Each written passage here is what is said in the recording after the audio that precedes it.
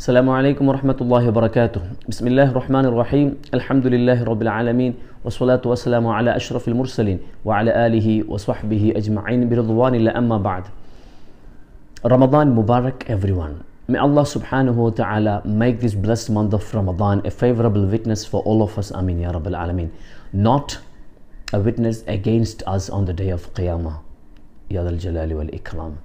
Today Four things we can increase in this blessed month of Ramadan are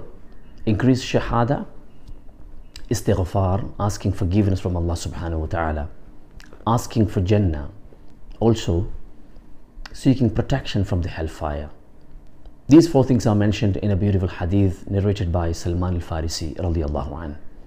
Rasulullah says, فَاسْتَكْثِرُوا فِيهِ مِنْ أَرْبَعِ خِصَالٍ You increase four things in this blessed month of Ramadan.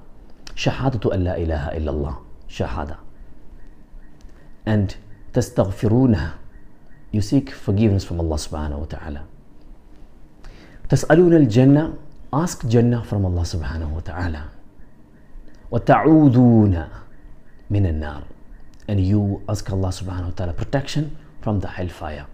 let's join all these four things in a beautiful um, dhikr or dua أشهد أن لا إله إلا الله